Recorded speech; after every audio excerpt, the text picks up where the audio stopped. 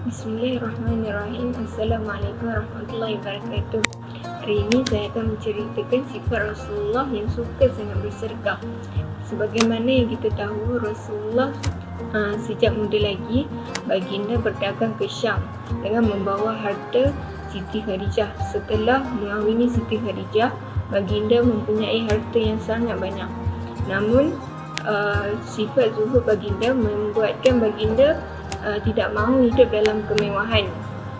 Baginda uh, sangat suka bersedekah, memberi makan kepada uh, miskin dan memerdekakan hamba. Uh, ketika Bani Hashim diboykot selama lebih kurang 3 tahun, baginda dan Siti Khadijah menggunakan hartanya uh, untuk membantu uh, Bani Hashim meneruskan kehidupan harian.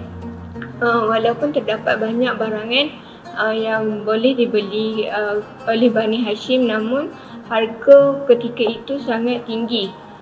Setelah kewafatan uh, Siti Khadijah, Rasulullah tetap meneruskan sifat Uh, bersedekah tersebut walaupun baginda uh, terpaksa mengikat perut uh, untuk menahan kelaparan.